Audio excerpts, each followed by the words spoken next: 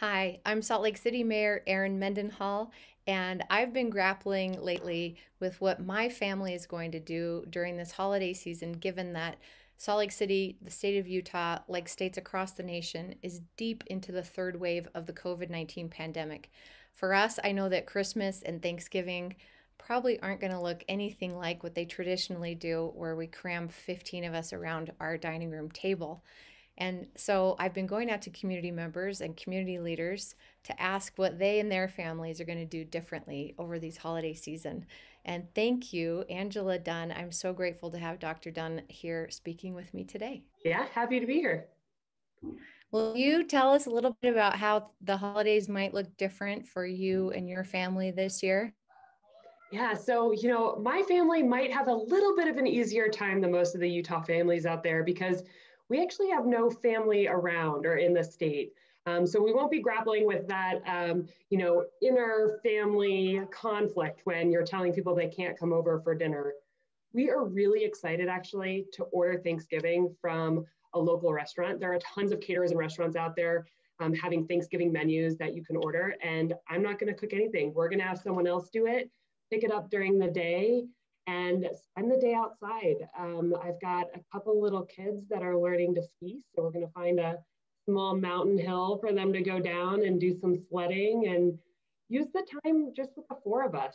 Um, and and that's about it.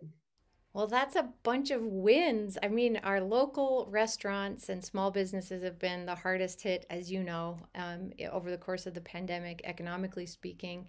And so you get to have delicious takeout from a local business that you're supporting, probably have fewer dishes to do, and eat some good stuff that maybe you normally wouldn't on Thanksgiving are your kids helping to plan in uh, what your plans are going to be in your activities? Yeah, absolutely. Um, so actually, this year, both of my kids decided they want salmon for the main course, and so we're going a little not traditional there. Um, so we're going to get a delicious salmon, and then, um, of course, depending on on what our great weather does, um, they will definitely be leading the charge. I think we're also going to start um, our tradition of watching some good Christmas and holiday films probably starting out with something like Home Alone or National Lampoon, um, and then go from there. Oh, Chevy Chase on uh, Lampoon's Christmas. Yep. Just can't get through a holiday season without that. exactly. well, I wish you and your family a really fantastic and safe and hopefully surprisingly fun holiday season. And I want to thank you. Um, for being amazing. Oh my gosh. I knew if I put it on, you wouldn't I'd have to jump and you wouldn't be able to see it. I, I am so fantastic. grateful for you. You're, you. you're an incredible asset to not only Salt Lake City, but our whole state. And I, I look up to you and I admire you and I'm grateful for you.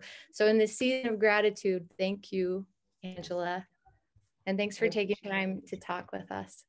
Anybody yeah, out holidays. there Thank you. And for anybody out there who isn't sure how to do your holiday plans this season, I encourage you to stay home and stay at home with the people in your household only while we celebrate this holiday season in a whole new way. Um, if you have questions about how to do that safely or whatever your plans might be, please go to cdc.gov and they've got a great holiday guide on there so that no matter what you end up orienting, there's a way to do it safely. We hope. Be well, take care, and stay safe.